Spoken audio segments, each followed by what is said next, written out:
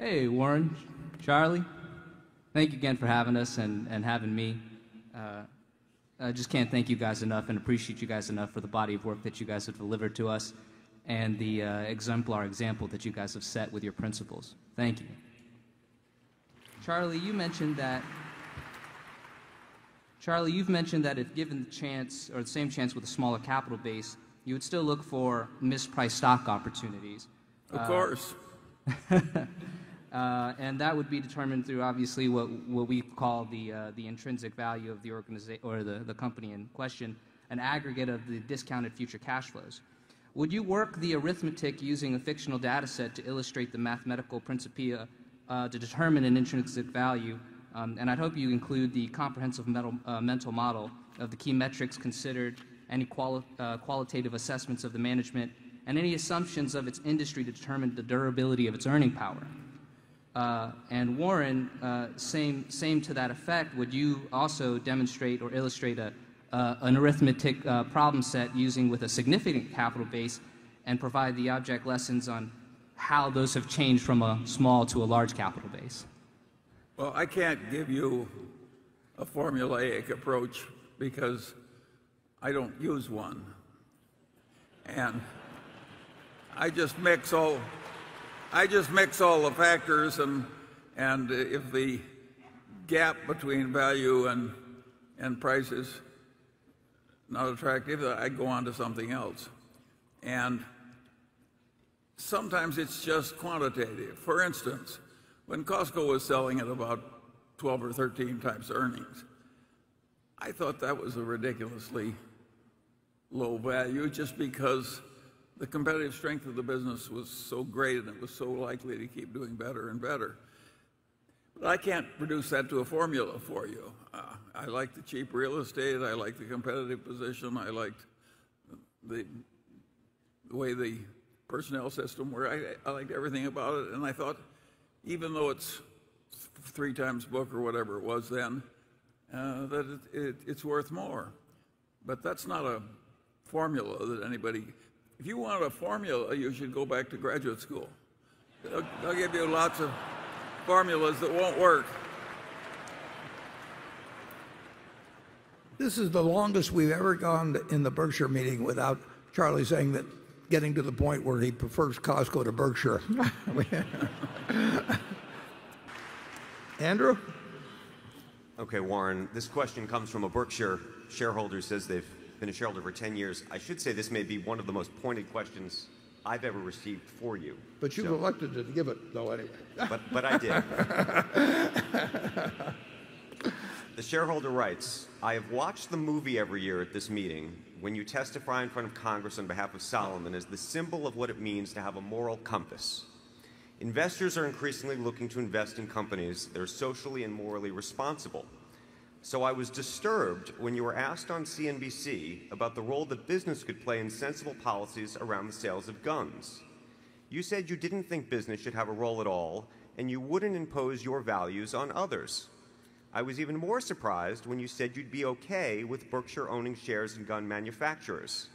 At this meeting years ago, you said you wouldn't buy a tobacco company because of the social issues.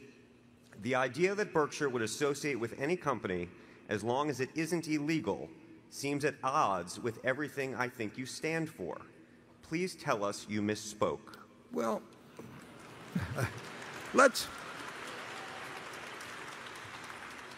let's explore that a little. Uh, should it should it be just my view, or should it be the view of the owners of the company? So if I decide to poll the owners of the company on a variety of political issues, and, and one of them being whether you know Berkshire Hathaway should support the NRA. You know, I know if a majority of the shareholders voted to do it, or if a majority of the board of directors voted to do it, I wouldn't, I wouldn't, I wouldn't accept that. I don't, I don't think that the, my political views, I don't think I put them in a blind trust at all when I take the job.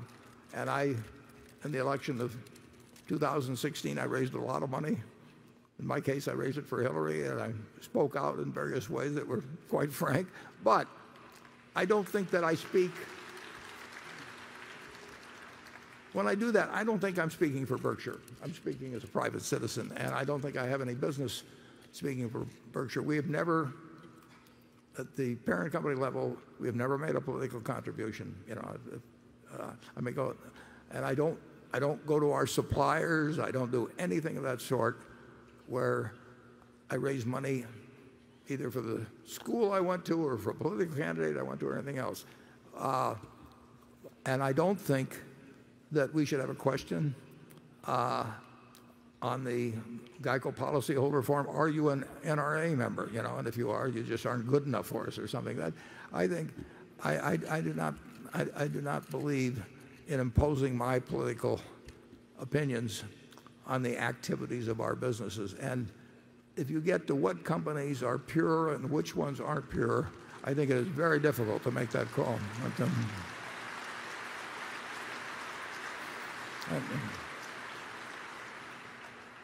I think with that response, I'm almost afraid to call on Charlie, but go ahead, Charlie.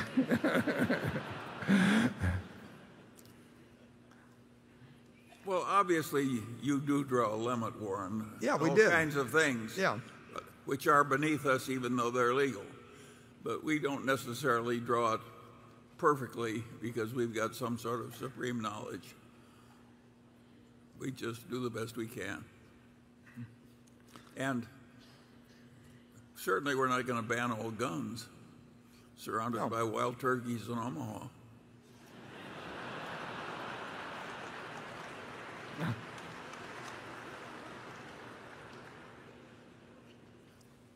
Hi, good morning, Mr. Buffett and Ms. Munger. My name is Steffi Yu from Horizon Insights, a China-focused research firm based in Shanghai.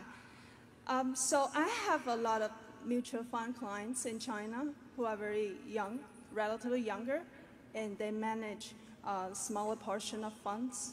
So my question is, if you only have $1 billion in your portfolio today, um, how would you change your investments? Would you consider more investment opportunities in uh, emerging markets such as China? Thank you.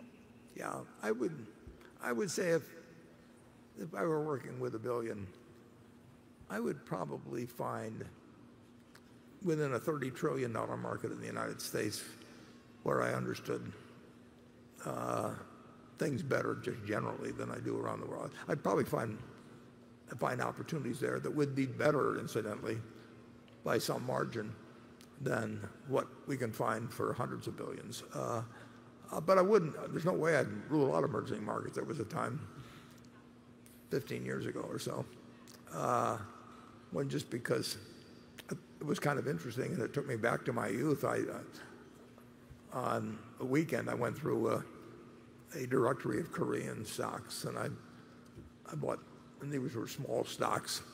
Uh, well, they were small by the standards of, of either Korean or American business. They were big, big companies. But I found 15 or 20 and that were statistically cheap and bought some of each one myself. And, there, are, there are opportunities with smaller amounts of money to do things that we just can't do.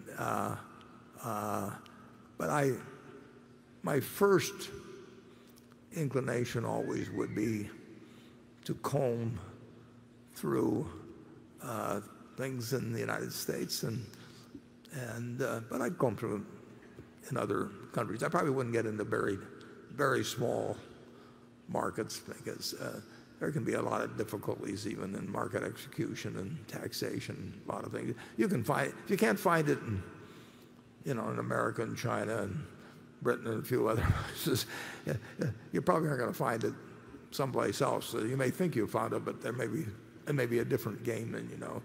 Uh, our problem is size, not geography. Charlie? Well, I already have more stocks in China than you do as a percentage, so I'm with the young lady. Okay, well, you can. You want to name names? Do these stocks have names? Or No, I don't. Carol, Um, this question, and I, I should just add one thing. You will find plenty of opportunities. in China Charlie would say you've got a better hunting ground than even a person with similar capital in the United States. Would you agree with that? Yes, I do. Yeah, yeah. So, uh, and in a sense, there, it, it's logical that should be the case because it, it's a younger market, but still a large market. So that that uh, markets probably work toward efficiency as they age. Japan had this very strange situation with warrants being priced out of line and all of that uh, 30 years ago. And people notice after a while and it disappears, but there can be some very strange things happen in, in markets as they develop. I think you'd agree with that, Charlie, wouldn't you? Absolutely. Yeah. Jonathan, Whoa, whoa. You skipped me. did I skip?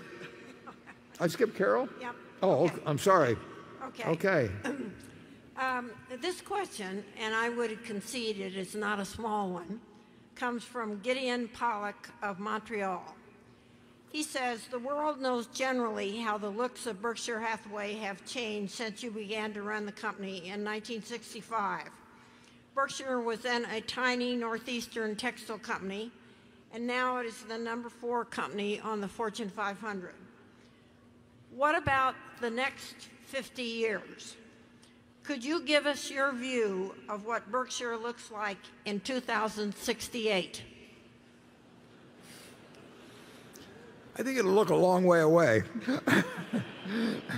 the, uh, no, the answer is I don't know, and I didn't know 50 years ago what it would look like now. I mean, uh, it, uh, it will be based on certain principles, but where that leads, you know, it, we will find out, and we'll have people that are thinking about different things than I am, and we'll have a world that's different. And but uh, uh, we will be, I very much hope and believe, and we will be that we'll be as shareholder oriented as any large company in the world.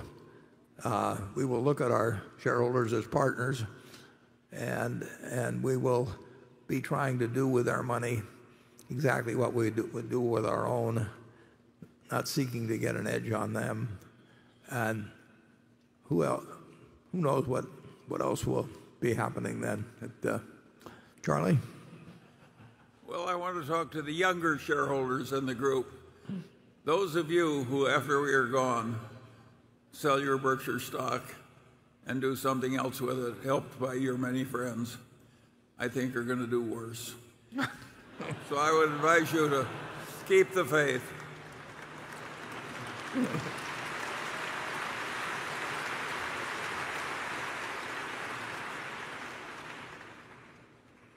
Well, By the way, some of that has already happened in many families. I'll give his answer next time now that I see it get all the applause.